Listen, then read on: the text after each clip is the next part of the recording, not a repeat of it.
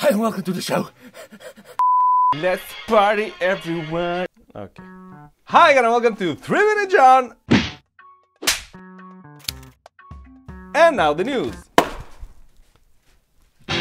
Google Chrome has a fresh new look. A few days ago, the Chrome browser celebrated its 10th birthday. Happy birthday to you! And with it, Google launched the newest version of the browser with rounded tabs, a new mobile layout, and an upgraded password manager. Among the changes, we also have fresh new colors, updated icons, and the address bar. Now, when you search for something, it might give you the answer directly in the bar without having to open another tab. Ah, uh, just remembered I have an unpaid tab at local bar.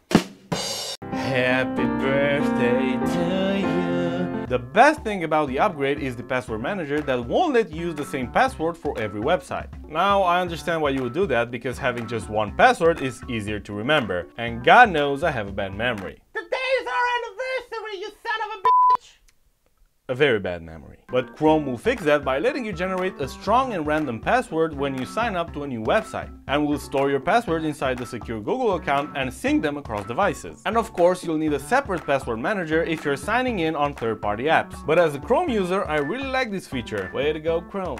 Keeping it safe and secure. Happy birthday, dear Chrome. Mozilla Firefox got nothing on you. Next week we will see the new iPhones.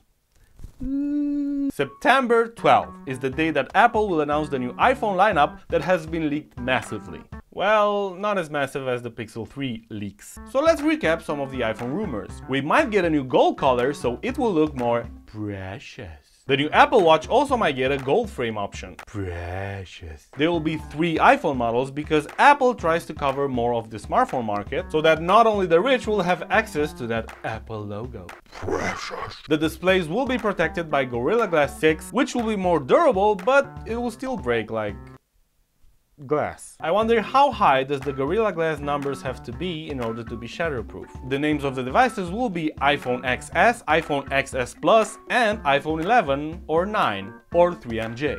What? It's a leak from a very reliable source. This guy. But you can call the iPhone XS the iPhone 6, because be sure it's gonna up your wallet. Everything should be improved on the new devices, and we'll talk more about them after the event, but until then, tell me in the comments what do you expect from the new iPhones? What would you like them to improve from previous models? What names would you give the new iPhones? And is 3MJ a good name for an iPhone? Yes.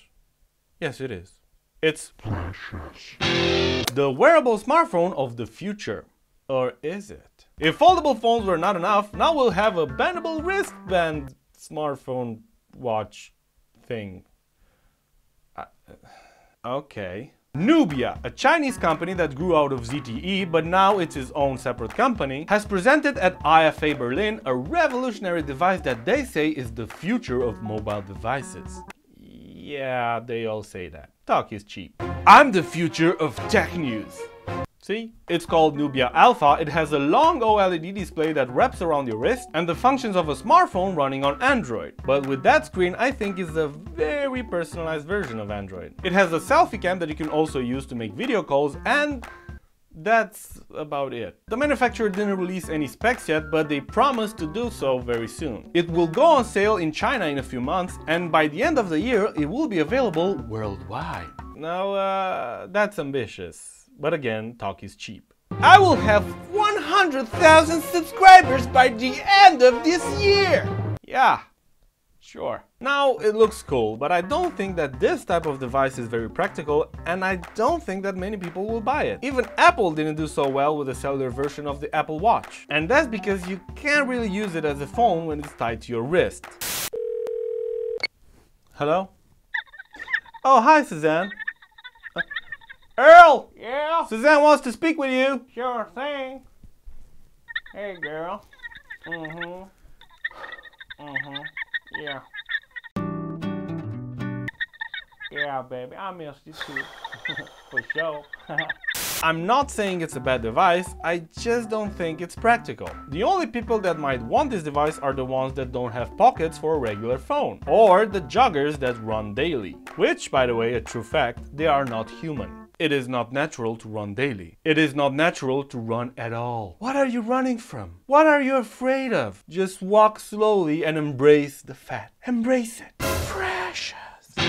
This was the show. Thanks again very much for watching. Remember to subscribe if you haven't. Leave a comment below. Follow me on Instagram. Follow me on Facebook. I'm John. Until next week, keep it safe and secure. Cheers.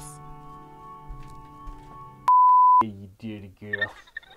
Yeah, I'm gonna take good care of you. Yeah. You've been a bad girl, haven't you? Yeah. Uh, uh, okay, wait, wait, a sec. Wait, wait. Oh my god. Oh, sh- uh, please just. Hello? Yeah, baby, it worked. Got myself a brand new wash phone thing. Hooey.